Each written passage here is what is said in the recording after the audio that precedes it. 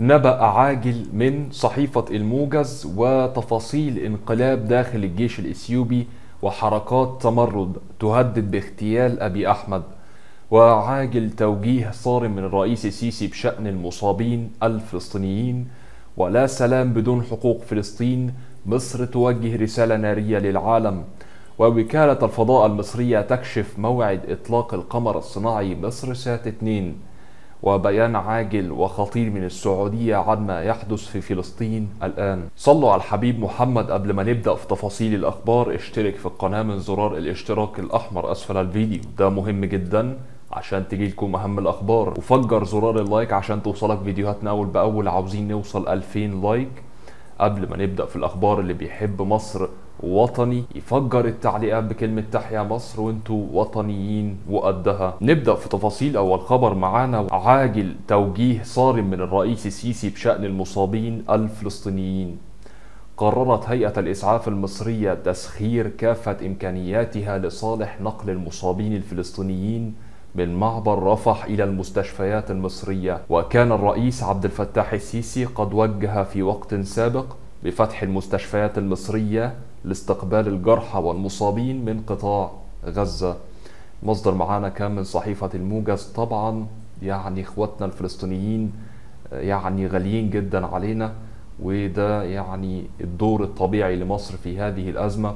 وأترك لحضراتكم التعليق على هذا الخبر. لو حضرتك جيت للجزء ده من الفيديو يا ريت ما تنساش تدعمنا باللايك والاشتراك في القناة. ويلا ندخل على الخبر التالي. ننتقل لخبر آخر معانا. ولا سلام بدون حقوق فلسطين. مصر توجه رسالة نارية إلى العالم. مصر أكدت إنها لا ترى سبيلا لتحقيق الأمن والسلام في المنطقة إلا عبر نيل الشعب الفلسطيني لحقوقه المشروعة واستقلال دولته على خطوط الرابع من يونيو عام 67 وعاصمتها القدس الشرقية. جاء ذلك في بيان جمهورية مصر العربية الذي ألقاه وزير الخارجية سامح شكري أمام الجلسة العلنية لمجلس الأمن التي عقدت أمس الأحد لمناقشة الوضع في الشرق الأوسط. مصر شددت على الأهمية العاجلة لتفعيل دور الرباعية الدولية التي لا غنى عنها لإحياء عملية السلام كما تسعى مصر بالتعاون مع كل من الأردن وفرنسا وألمانيا في إطار صيغة ميونخ لدعم الجهود الدولية لاستئناف المفاوضات بجانب تطلعها للعمل البناء مع الإدارة الأمريكية نحو هذا الهدف. شكري قال في بيان مصر. إننا نجتمع اليوم بعد مرور نحو ما يزيد على 72 عاما على بدء المأساة الفلسطينية ونحو 42 عاما على إطلاق مسار السلام في المنطقة الذي شهد في بداياته آمالا عظيمة بإمكان تحقيق السلام في المنطقة. غير أن تلك الآمال تبددت شيئا فشيئا مع كل محاولة لم يكتب لها النجاح لوضع حد للصراع الذي شهدت فيه القضية الفلسطينية انتكاسات متتالية. فجعلت هناك مناخ الإحباط والإحتقان وهو ما وصلنا إلى ما نحن فيه اليوم. المصدر معانا كان من صحيفة الموجز وده كان يعني بيان مصر في مجلس الأمن وأترك لحضراتكم التعليق على هذا الخبر الهام. وننتقل لخبر آخر معنا ونبأ عاجل تفاصيل وكلام عن انقلاب داخل الجيش الإثيوبي وحركات تمرد تهدد باغتيال أبي أحمد. كشفت تقارير معلوماتية عن وقوع انقلاب داخل الجيش الإثيوبي ووجود حركات تمرد تهدد باغتيال أبي أحمد رئيس الوزراء. وتأتي هذه الأحداث على خلفية اشتعال الحرب الأهلية في إثيوبيا واعتزام أبي أحمد ارتكاب مجازر جديدة في تجري. وقد أعربت وزارة الخارجية الأمريكية عن قلقها بسبب ما يحدث في إثيوبيا ضد إقليم تيغري الذي شن ضده رئيس الوزراء الإثيوبي أبي أحمد حربا أهلية. ما زالت مستمرة إلى الآن. وزير الخارجية الأمريكي قال إن أمريكا تشعر بالقلق بالغ بسبب منع القوات العسكرية الإثيوبية وصول المساعدات الإنسانية إلى أجزاء من منطقة تيغري. وبلينكين أكد رفض أمريكا قاطع للممارسات التي تقوم بها حكومة أديس أبابا. في رسالة ذات لهجة أحد من السابق قائلا إن هذا السلوك غير المقبول يعرض 5.2 مليون شخص في المنطقة في حاجة ماسة إلى المساعدة الإنسانية لخطر أكبر. ودعت الولايات المتحدة حكومتي إريتريا وإثيوبيا إلى اتخاذ جميع الخطوات اللازمة لضمان توقف قواتهما في تجري والكف عن هذا السلوك المستهجن.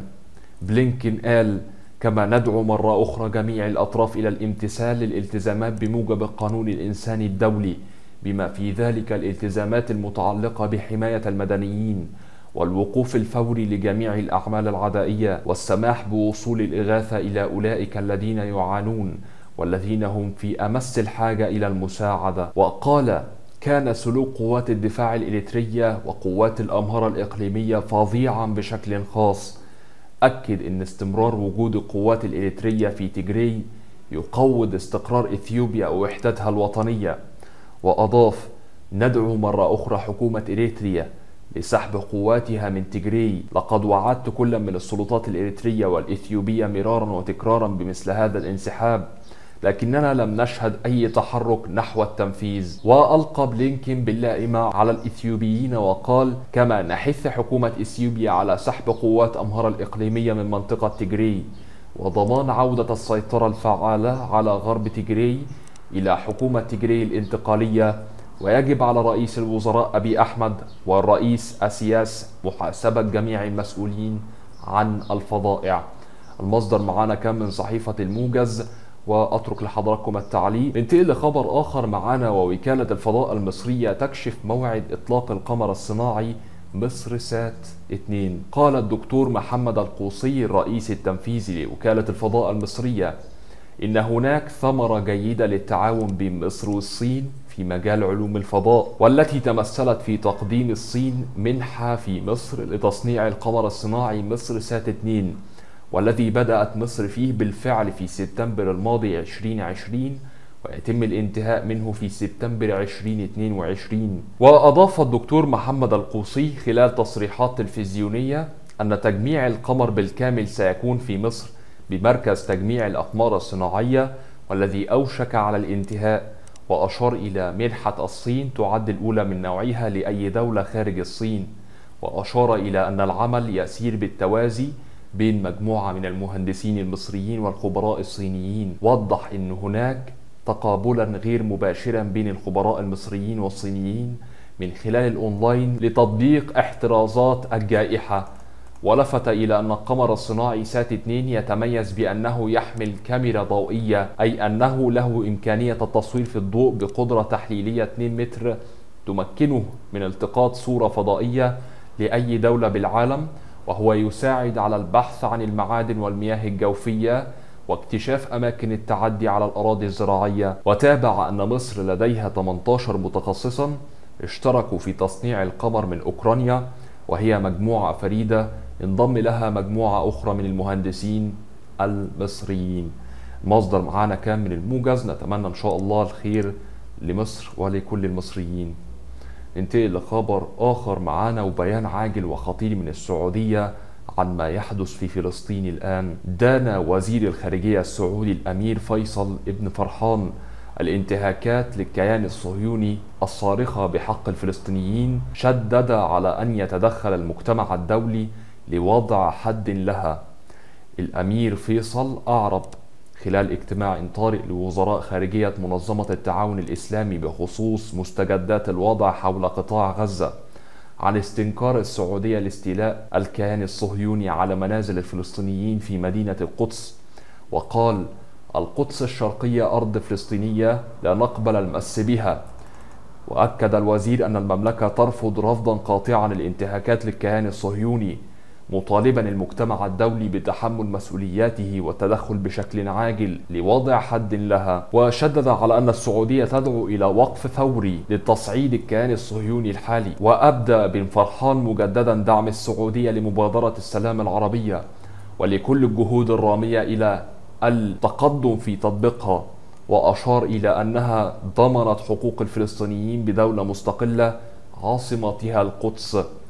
المصدر معانا كان من صحيفة العربية وأترك لحضراتكم التعليق على هذا الخبر. ننتقل لخبر آخر معانا وخبر صار لكل المصريين استبدال بعض العربات القديمة في قطارات مصر بعربيات روسية جديدة. أعلنت هيئة السكة الحديد استبدال تركيب أربع قطارات تعمل بين الإسكندرية والقاهرة والأقصر والعكس بعربات روسية ذات تهوية ديناميكية بدلا من العربات العادية.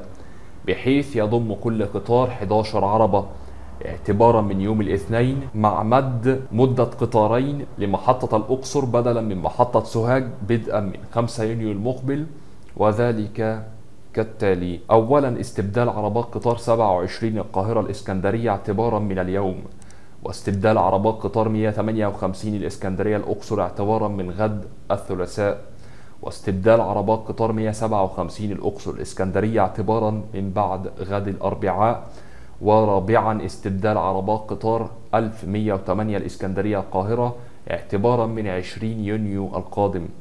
خامسا مد سير قطاري 974 و 975 من القاهرة إلى الأقصر اعتبارا من يوم 5 6 20 21 على أن يقوم قطار 974 من القاهرة إلى الأقصر الساعة الخامسة والنصف. صباحا بنفس التركيب ويعود 6 6 20 21 بقطار 975 من الأقصر إلى القاهرة بحيث يقوم الساعة الثامنة صباحا. مصدر معانا كان من الموجز وأترك لحضراتكم التعليق على هذا الخبر. ويجينا لنهاية نشرة الأخبار. كان معكم عبد الله الفقير إسلام الأمير. إن شاء الله أشوفكم في فيديو جديد وقريب. والسلام عليكم ورحمة الله تعالى وبركاته.